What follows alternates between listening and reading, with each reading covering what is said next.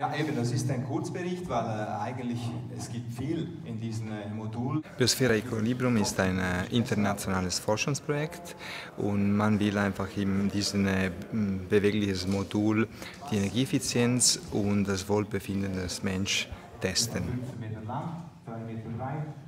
Die Zukunft von Minergie hat sicher sehr viel mit dem Wohlbefinden des Menschen im Gebäude zu tun und entsprechend inspiriert Biosphäre, was so Gesundheitsaspekt angeht.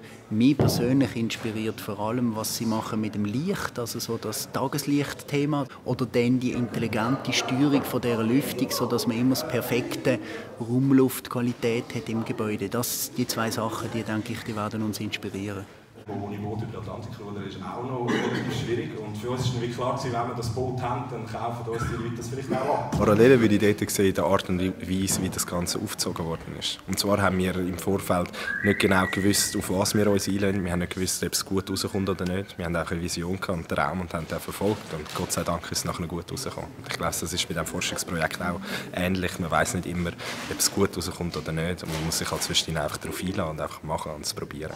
Und vielleicht ist es auch ein Stück weit ein Abenteuer, wenn man so einen Forschungskubus baut. Biophilia ist eine Forschungsrichtung, die wir hier im Gebäude haben von Italien Da geht es darum, dass man die Wahrnehmung, die man hat im Wald, in einem Raum kann nachbilden und da auch physikalisch kann testen kann.